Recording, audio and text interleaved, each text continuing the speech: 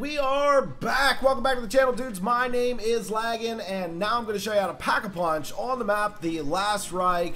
Uh, it's pretty simple to do, shouldn't take you long. There is one thing that you need to know before you go into it, and that is how to turn on the power. So if you don't know how to turn on the power, I made a separate video for that. You can just click on the screen somewhere. It's right there. It's somewhere on the screen, and you just click on that, and it's like a two-minute video. It won't take you long at all. Learn how to turn on the power, come back to this one, and we'll get you pack a punch in no time. Okay, so now that you have the power turned on, all you have to do is to go into the command center. And once you're in the command center, you've got two doors that you need to go through. One is marked as the morgue, and the other one is marked as the laboratory. So if you go through the morgue door, uh, pretty quickly actually, you will see a panel on the wall.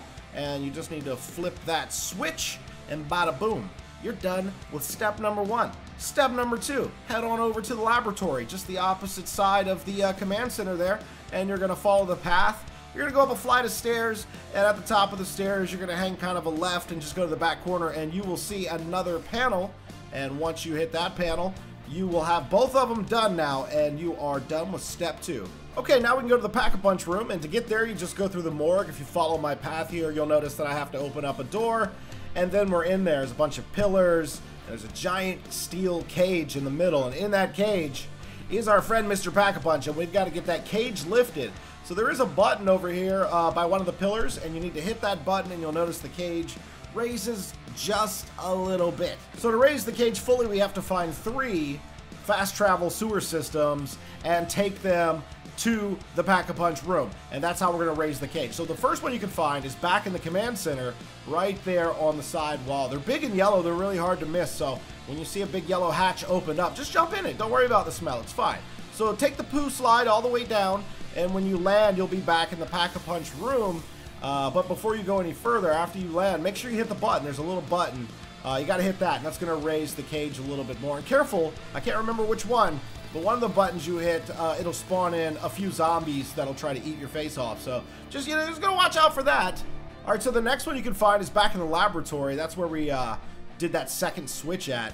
And uh, it's right below it. So if you just go back into the laboratory, you'll see the yellow hatch on the wall. Jump in it. Again, when you get to the bottom of it, you're going to want to make sure that you hit that button. And the cage is going to raise a little bit more.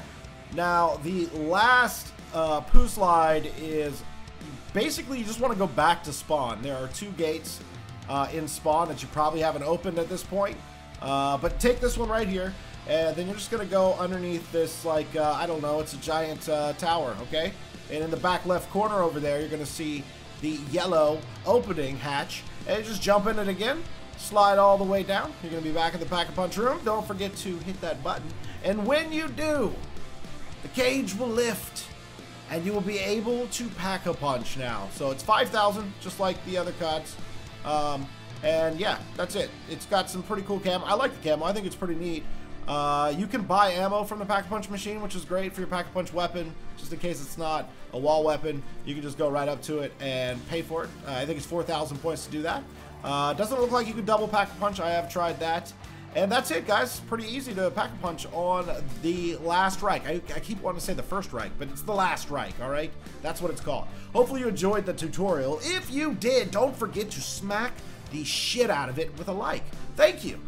And as always, it's been your boy Laggin24, and I will see you next time.